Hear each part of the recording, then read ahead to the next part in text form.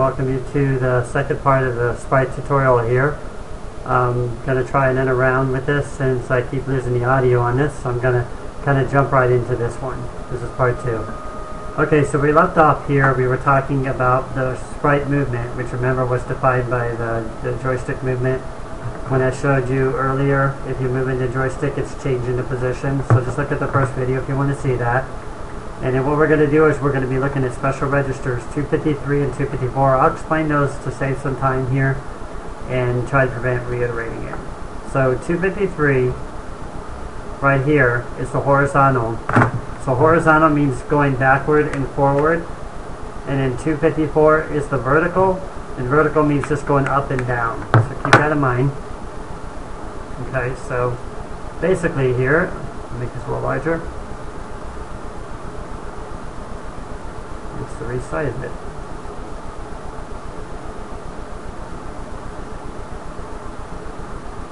Okay, there we go. It's a little bit larger. Okay, so basically here we're looking at the horizontal position, or 253, and then we're going to introduce a register here called increment, which is what 230 does. 253 is going to increment. Now the easiest way to look at it is increment on in your computer's memory means to go forward, and this means it means to go down. If you're going horizontally, which we are in this case, it means to go to the right. Remember that. So basically that's what this is doing, is it's moving it to the right and incrementing it. Oops. You look back here also on the Excel chart here, you will see that 96, excuse me, 96, 230 is increment the accumulator, and here's an example. x equals x plus 1. It means to reiterate it by 1 each time. So basically, it's just kind of, you know, incrementing in slow position each time the sprite's moving. So every time you're moving the joystick that way, you're going to see him moving, you know, that direction. So. Okay, so the next thing we're going to be doing, we're defining the left movement. Same thing, we're going to use register 253, and we're going to store in the left movement. Now for left, we use something called decrement, or DEC, and just like increment, decrement means decrement, the accumulator, except it means do it in the opposite direction. So look at example here, x1 equals x1 minus 1, which means if we're decrementing, we're basically going the opposite direction. So as we're moving the joystick to the left, we're decrementing going backward, and that's causing the sprite to move backward since we're stored in location 253, which is where we're storing the horizontal position, which I showed you on the, the first screen right here. 253 and 254 the registers we're using. We're going to return from the subroutine means just basically when you hear an RTS it means go back here, go back to basic and just wait for the next loop, which means just look at the, the controller again. Okay, so the next one here is the, the down movement. And this very similar to the first one. I'll just type them in again to save some time here. It means increment 254. And I just explained that earlier, but basically when you're moving down, you're incrementing, and this time it's stored in memory location 254. We need to keep track of two memory locations, otherwise one will overwrite the other. So 253 is horizontal, 254 is vertical. So always remember that whenever you want to move a sprite, you always want to set two separate registers for X and Y. So X and Y, or 254. So basically here, we're moving into the next position. And let me just kind of list this out a little bit so you can kind of see a little bit more here from where we started off at the beginning. See if I can get it all on the same screen here, hopefully. Right there, it's pretty close. Okay, so if you look here at the top, let me get back over there. You see where it says 123? Remember I showed you in the first video, if you have to go watch it again, when you're moving the joystick in certain positions, according to this chart right here, it's going to tell you what the number is going to be. Can you see that? 126 moving up, 125 is down, 123 is left, and 119 is right, unless I have that backwards. Yeah, that's right. Okay, so basically that's what that means. 123 means go to the left label. LFT is a label.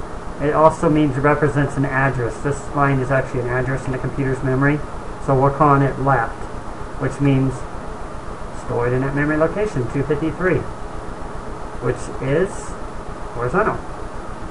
And if we're not doing horizontal, then we must be doing, or if we're not doing left, then we must be doing right. Um, I think I erased it here, put it back in, right. So if we're going right, we're going down, well actually I did erase the right is right here, I said that backward, and left is the next one down, which means we're decrementing. So let me finish this off. Put the rest of the lines on here so we can finish it off here. Okay, that's the end right there, perfect. Okay, so once we're done with the down position, we're going to use the up position, since now we're moving this right up.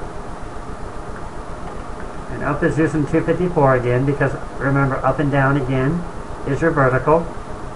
And then we're going to decrement 254 back to the chart if you need it again. 254 for the lookup table is decrement accumulator, which means basically move x1 backward, or x equals x minus 1. Basically it says, if you're moving the, um, if you're moving him down, or excuse me, if you're moving him up, then it means um, the decrement accumulator, or go backwards. so basically it's going up. So he's going up as you're decrementing, and he's going down as you're incrementing. So that's how it works. Alright, and let's go back to the example and finish it. Feel free to post your questions if you have any questions here. I'll show, I'll demonstrate it in a video, which obviously a visual example is going to be the best results anybody can see anyway. So, you know, make sure this is entered in again. Okay, and we'll run it, and you'll see it in action. This is the first program we used from the very first machine language sprites video. The first one just showed you how to load them to the screen. It doesn't do anything. But now, when we move the joystick up and down, you'll see the player moves down. And if you move him right, he moves right. Move him left, he moves left. Basically, that's all it is. Now, when you come here to a boundary here at 255, he'll flip instead of going all the way across the screen here. He'll flip right here because we still need to figure out how to, to calculate the most significant bit in this position. But I'm not going to do that in this video because I don't want to add too much. I'll separate this into other sprite videos. This one's going to be really short. I just wanted to show you. That's how you move it. Okay, so once again, as we're moving him up and down, that's 254. As we're moving him left and right, that's 250, um, 253, which is the stored position where he's going to be moving him at. I should have, just now thinking I should have probably positioned it on the screen to show you, but I didn't want to add too much to this program, but I just wanted to show you that. Basically, it's a real simple sprite movement. Now, this one does require constant clicking of the joystick. That's because in assembly language it's always jumping out of the subroutine. Remember the RTS? So every time it's jumping out, it's only going to move it by one position each time. To get real fluid movement to continue the loop, you have to set it up inside of jump subroutines.